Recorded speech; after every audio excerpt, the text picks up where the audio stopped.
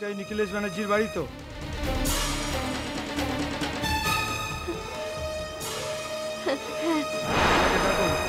দরকার আছে।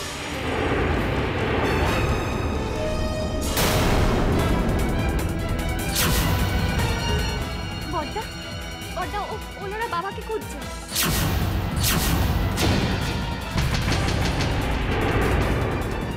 বাবা এখন কলকাতায় নেই। মানে? বাবা কয়েকদিনের জন্য ওনার বন্ধুর বাড়িতে বেড়াতে গেছে। বেড়াতে গেছে নাকি পালিয়ে গেছে? দেখুন ওনার পালিয়ে যাওয়ার কোনো কারণ ঘটেনি। মাঝে মধ্যেই বাবা হরেন কাকার সঙ্গে ওনার দেশের বাড়িতে বেড়াতে যান এবারও তাই গেছেন। কবে ফিরবেন উনি? উনি তা বলে যাননি তবে দু তিন দিনের মধ্যেই ফেরবার কথা। ঠিক আছে। ফিরলেই থানায় যোগাযোগ করতে বলবেন।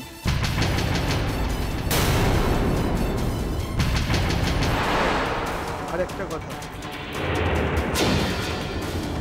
উনি কিন্তু বেশি দিন পুলিশের চোখ এড়িয়ে পালিয়ে বাঁচতে পারবেন না। পেছনেকে খুঁজে বার করবে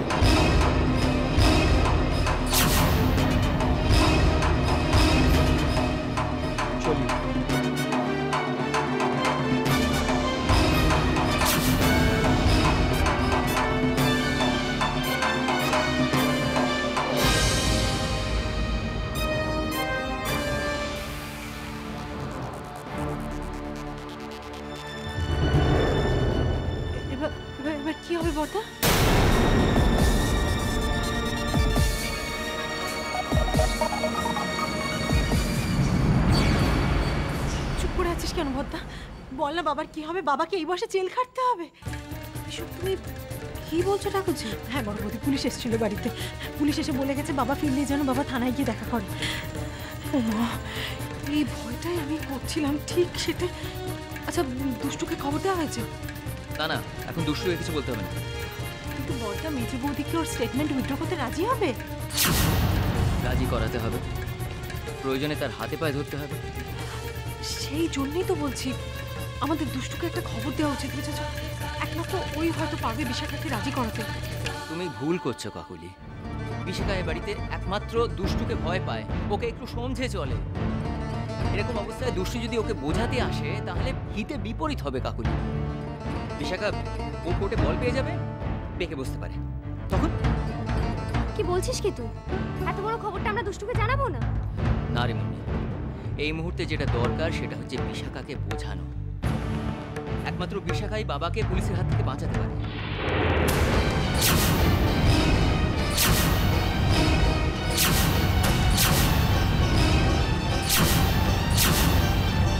বিশাখা?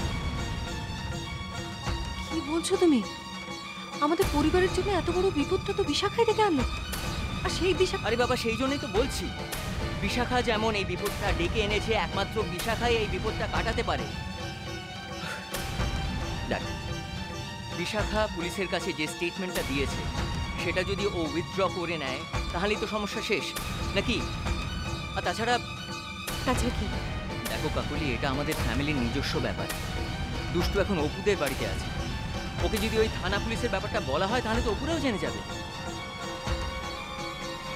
একে তো ওরা বিষ খাওয়ার খবরটা জেনে গেছে কাকু। ওদের আর ওই থানা পুলিশের ব্যাপারটা বলতে চাইছি না আমি। দুষ্টু তো আমাদের সব বিপদেই হাল ধরে একবার নিজেরা চেষ্টা করে দেখি না। হুম সবই বুঝলাম কিন্তু কিন্তু এক্ষেত্রে বেড়ালের গলায় ঘন্টাটা বাঁধবে কে? কেন? তুমি? আমি? আমরা সবাই মিলে বোঝাবো? কি বলছো তুমি? আমি? আমার কথা বাদ দাও তো। বিশাখা তো আমাকে মানুষ বলেই মনে করে না। আমি বলি কি বর্দা তুই আমাদেরকে ছেড়ে দে। তুই আর বর্দি যা। ওকে যদি কেউ বোঝাতে পারে তাহলে সেটা হলো তোরা। বেশ তাই যাই। টিপুটা হয়তো এখন অফিসে বেরোয়নি। ও থাকতে থাকতেই যাই। চল চল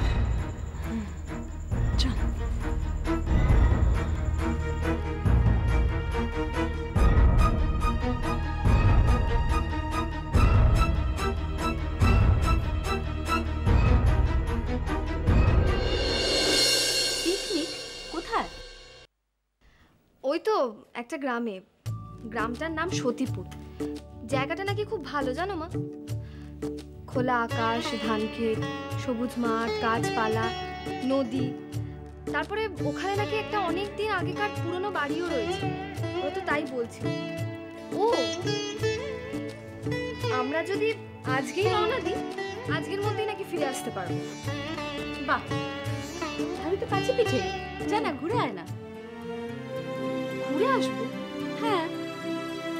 কাজ ছাড়া বাইরে তো কোথাও বেরোস না। কাজের বাইরেও একটা জগৎ আছে দুষ্টু। আর তাছাড়া সেই অকাজের মধ্যে যদি হারিয়ে না যাস তাহলে জীবনটা বড় একঘেয়ে হয়ে যায় রে। কিন্তু মা না না তুই আর দোনা মনে করিস না। তোর ছাত্রী যখন তোকে রাজি করিয়েছে তুই যা ঘুরেই ভালোই লাগবে। যাব তো। কিন্তু রোহন রোহন যাবে তো?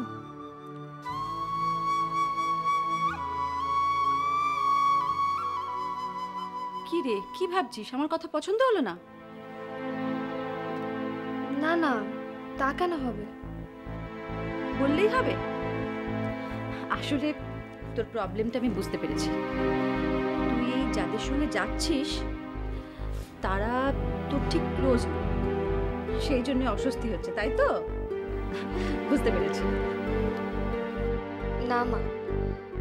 অন্যদের সাথে আমার সম্পর্কের দূরত্ব থাকলে রাজার সঙ্গে তো সেটা নেই। রাজার চেয়ে আপন আমার তো আর কেউ নেই, মা। কে বলতে পারে? চার দেওয়ালের মধ্যে দাঁড়িয়ে যে রাজা নিজেকে খুঁজে পাওয়ার জন্য মাথা খুঁড়ে মরছে, সেই রাজাই খোলা আকাশের নিচে নিজেকে খুঁজে পেতে পারে?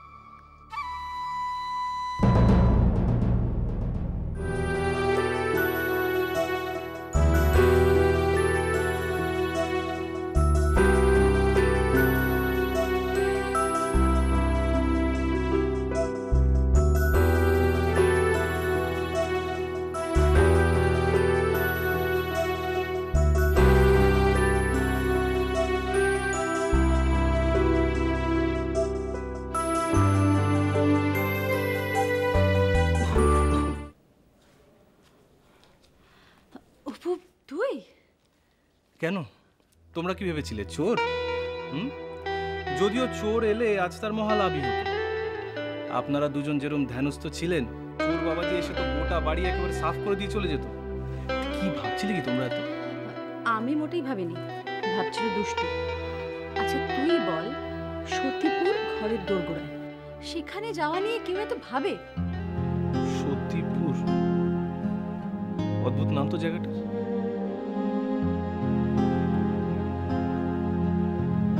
কিন্তু দুষ্টু সেখানে যাবে? আরে বাবা আর বলো না। আমার যে স্টুডেন্টটা আছে না সুহেনা বায়না ধরেছে। ওর সঙ্গে নাকি আমাকে ওই সতীপূর্ণা কোথায় যেতেই হবে? দেখো দুষ্টু কেউ বায়না ধরলেই যে তোমায় যেতেই হবে তার তো কোনো মানে নেই। যাওয়া না যাওয়া সেটা তো সম্পূর্ণ নিজের ইচ্ছের উপর ডিপেন্ড করে তাই না? আর তাছাড়া ওই কি নাম বললে জায়গাটা? সতীপুর নাকি? তো সেইখানে তো তুমি আগে কোনোদিন যাওনি। সম্পূর্ণ অচেনা জায়গা। অচেনা জায়গায় গেলে তো ভাবনা হতেই পারে। সেটাই তো স্বাভাবিক।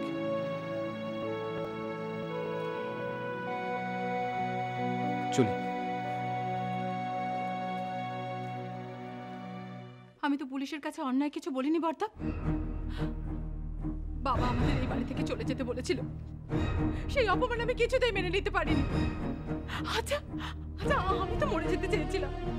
আমাকে আপনারা কেন বাঁচালেন বলুন তো, কেন বাঁচালেন আমাকে? বিষয়টা তুমি একটু ঠান্ডা মাথায় বোঝার চেষ্টা করো। দেখো, বাবা যখন বলেছিলেন তোমাদের চলে যাওয়ার কথা, তখন একটা ঘটনা ঘটেছিল। সেটা তুমি খুব ভালো করে জানো। একটা কারণ ছিল। যাক সেসব কথা। এই মুহূর্তে আমাদের হাতে সব থেকে বড় সমস্যা হচ্ছে বাবাকে কি করে পুলিশের হাত থেকে বাঁচানো যায়, এটা তো তুমি বোঝো।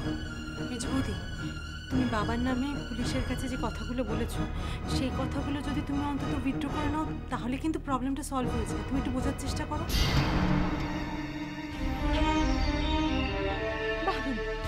অসাধারণ। তোমরা শুধু তোমাদের প্রবলেমগুলো সলভ করার কথাই ভাবছ। আর আমাদের আমাদের প্রবলেমটা কি হবে সেটা কখনো ভেবেছো? বিশাখা আমি তোমাকে কথা দিচ্ছি আমরা বাবাকে আপ্রাণ চেষ্টা করব বোঝাতে যাতে তোমাদের তাড়িয়ে না দেয়। আমি তো কথা দিচ্ছি। আপনার চেষ্টা করবেন বোঝাতে। কিন্তু আপনার সেই প্ল্যান সাকসেসফুল হবে সেই গ্যারান্টি কি আপনি আমাকে দিতে পারেন? জানি সেটা আপনি কিছুতেই দিতে পারবেন না। আর সেই প্ল্যান সাকসেসফুল না হলেই তো সব থেকে বড় লাভ। বাবা আমাদের দূর দূর করে এই বাড়ি থেকে তাড়িয়ে দিলেন আপনাদেরই সব থেকে ভালো হবে। বিশাখা তুমি এসব কি বলছো? আমাদের কিসের লাভ? বাহ আপনাদের লাভ না? আমরা দুজন এই বাড়ি থেকে চলে গেলে এই সম্পত্তির পুরো অধিকার তো আপনার হাতে চলে। বিশাখা।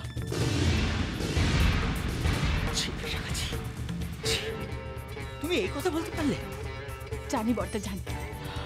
অপ্রিয় সত্যি শুনতে সবসময় খারাপ লাগে। বলে না বিশাখা।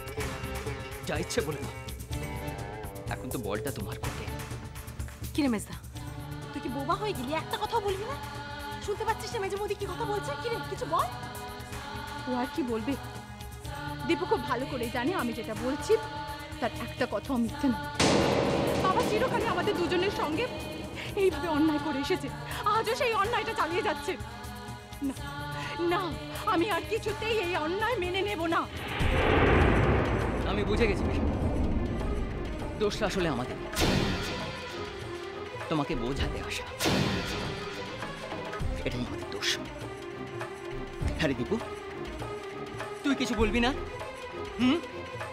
তুই কি বাবা ছেলে নোস তুই বল আমায়, তুই বাবা ছেলে নোস হ্যাঁ? আমাদের চোখের সামনে দিয়ে বাবাকে পুলিশ হাতে হাত করা নিয়ে টানতে টানতে নিয়ে যাবে। তুই সেটা দেখতে পারবি? তো সহ্য হবে দীপু বল! সহ্য হবে তোর! বর্দা ওকে আর একটা কথা বলিস না। একটা কথা শোনার যোগ্য আর নেই। চল এখান থেকে। ঠিকই বলেছিস সুসময় তুই ভালো মন্দের ঊর্ধ্বে চলে গেছিস রে। তোকে না আমার ভাই বলতে লজ্জা করে।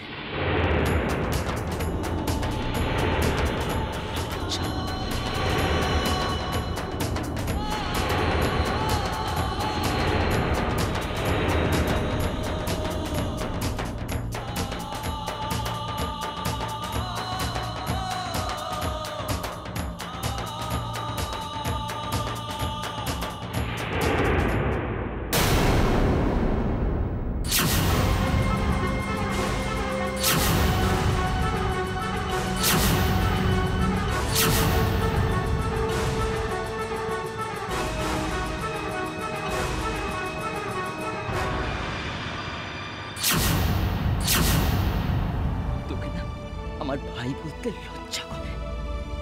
শুধু লজ্জা? আমার তো ঘৃণা করছে দাদা।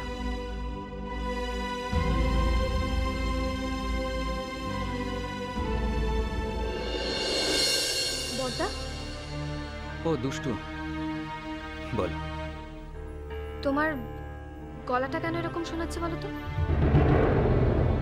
আচ্ছা বাড়িতে সব ঠিকঠাক আছে তো? না। না মানে হ্যাঁ হ্যাঁ বাড়িতে বাড়িতে সবাই ঠিক আছে দুষ্টু।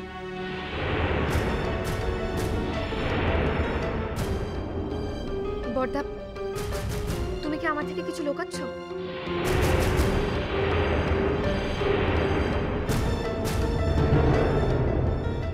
দূর পাগলি তোমার কাছে আবার কি লোকাবো হ্যাঁ?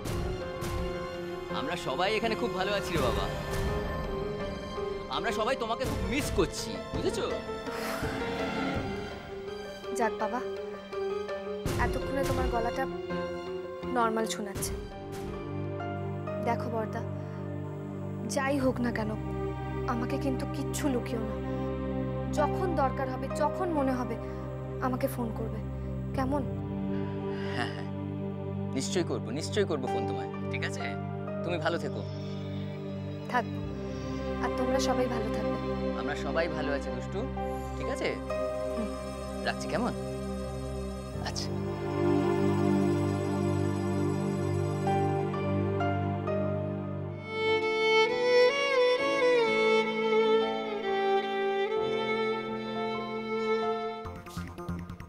হয়েছে হয়েছে, অনেক হয়েছে।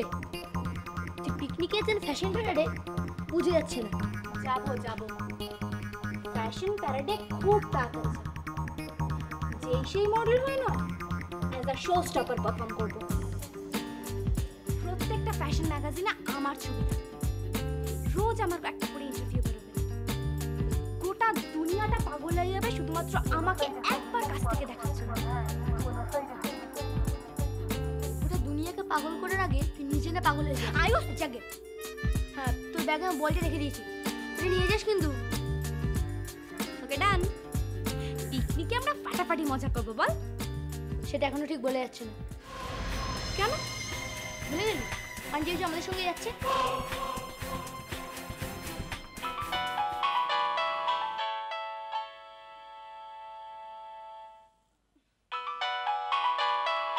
হ্যাঁ তোর বয়ফ্রেন্ডটার কি? তোকে ফোন করে সেটার কোনো কাজ নেই? তাই চুপ।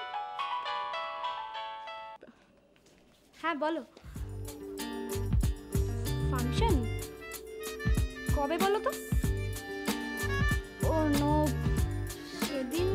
যেতে পারব না। আমরা সবাই মিলে সেদিনকে পিকনিকে যাচ্ছি।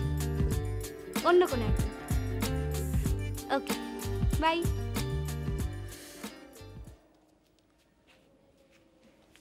আয়ুষ তুই না ঠিকই বলেছিস। আন্টি যাচ্ছে তো। আমরা একটুও মজা করতে পারব না। সুহানাকে যে কে বলেছিল আন্টিকে গিয়ে বলতে? চলুক না। সেখানে কি এমন শিক্ষা দেব যে দ্বিতীয় দিন এবারে রাস্তা মারাবে